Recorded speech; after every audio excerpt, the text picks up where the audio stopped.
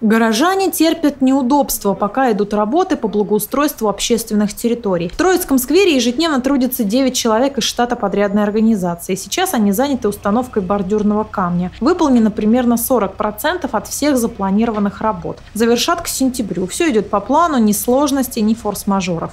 В данный момент производится работа по монтажу бордюрного камня, то есть тротуарный поребрик.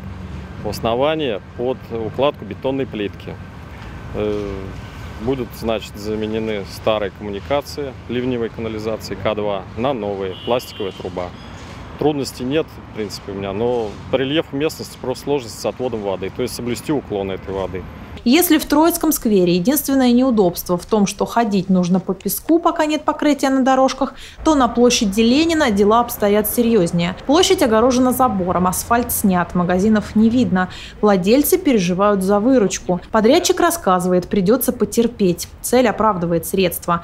Э, в ближайшее время мы все-таки пустим поток э, и пешеходов, и э, возможность попасть в любой магазин э, по всей площади Ленина.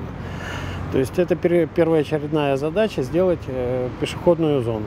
В дальнейшем подрядчик приступит к укладке гранитного покрытия на площади. Рабочие займутся бассейном для фонтана. Дно его уже готово. Со стороны улицы Громобоя дорога будет расширена на одну полосу. У памятника появится небольшой скверик. Также в планах сделать велодорожку и велопарковку. Завершат все до 30 ноября. Напомним, на благоустройство трех общественных территорий областного центра из бюджетов разных уровней выделено 120 миллионов рублей.